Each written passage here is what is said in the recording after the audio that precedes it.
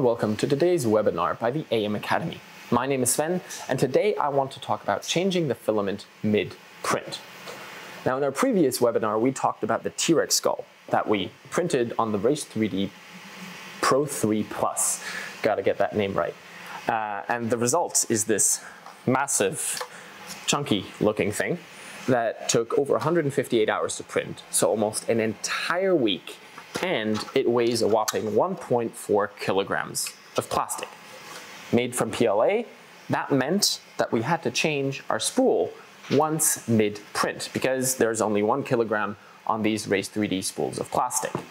And that's exactly what I want to touch on a little closer today because it is something that is relevant whenever you want to print very big parts that take a lot of material.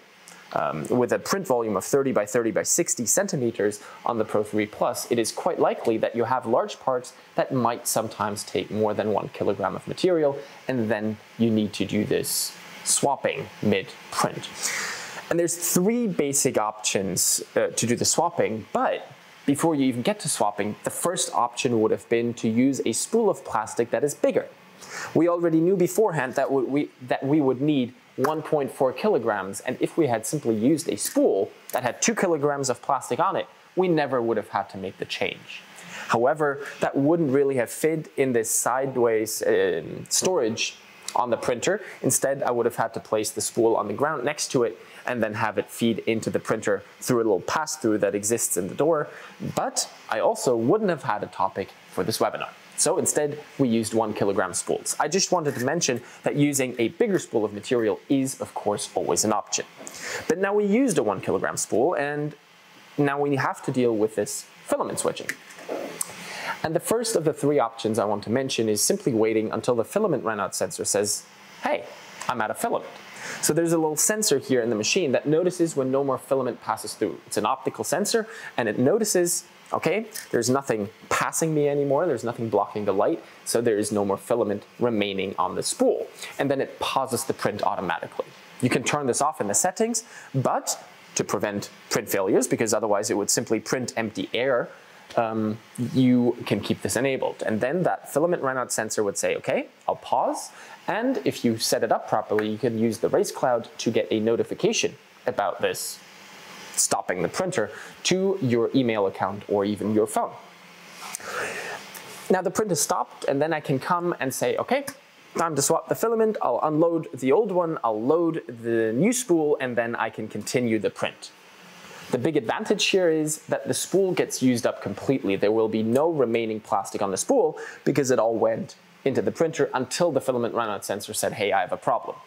However, the disadvantage is that that is not very plannable. So it's entirely possible that I print over the weekend and on Friday evening at 11 at night, my filament runs out and the printer stops. And then I only come back to the office on Monday at 8 in the morning and the printer stood still that entire time. So I would have a very high um, duration of, of standstill. And that, of course, is time that the printer is not spending being productive. So I don't like that very much. But in exchange, I have no wasted plastic whatsoever. Option two that I want to talk about is intentionally pausing the print using the on-screen menu uh, and then exchanging the filament. This allows me to choose the moment where I switch the filament freely. I can always decide now is the time I want to do it. But the disadvantage is I'll have plastic left on the spool. Yeah, so it's a trade-off. I have very good planability. In this case, that's the option I used. I went in on Friday at 4 in the afternoon and paused the print, changed the filament, then started the print again, knowing that it would keep printing the entire weekend through, and the result is really, really great. Then the third option that I generally do not recommend, but that does exist, is actually going in and cutting the thread of the old filament and manually feeding new filament right afterwards. This method means you do not have to pause the print ever, instead it keeps printing, but it also has a very high potential to mess it up a tiny bit and suddenly you do trigger the runout sensor, the printer might stop, suddenly you did it on the outer wall and you will see that uh, gap if you didn't feed quickly enough. So there's a lot of potential for this to go wrong. So generally I don't recommend it. I would always either wait for the filament runout sensor or manually pause my print. Now, when deciding when to pause it, it's not just about the time of day, but also what is actually happening within the printer. Because now I get to choose when to pause it, I can choose to pause the print while the infill is being printed, so the inside of my model. I won't see this on the outside later on.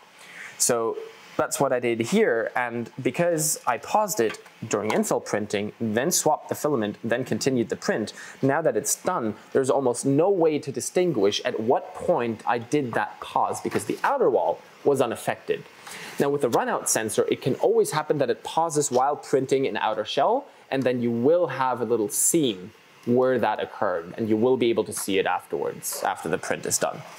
But as I said, those are your three basic options. I usually recommend option two. Uh, the problem then is that you have some plastic remaining on the spool. That'll be up to you to figure out projects where you can use the little bit of spare plastic that is still on the spool. Maybe you have a smaller print that you need to do. That's where you can use that plastic then. Um, so as I said, that's my three options for changing filament. So that's all I really had to tell you today. We'll still show some more close-up pictures of this massive dinosaur skull after I'm done talking. Uh, as I said, I really like the way it came out. There's almost no way to tell when I swapped the filaments and the entire print just looks so good and it's massive. So 158 hours of print time came out great. Thank you very much for watching. I hope you found this interesting. If you do have any more questions or comments, you can leave them below the video. I'll do my best to answer all of them. And then I hope to see you again in a future webinar. Thanks for watching and see you next time.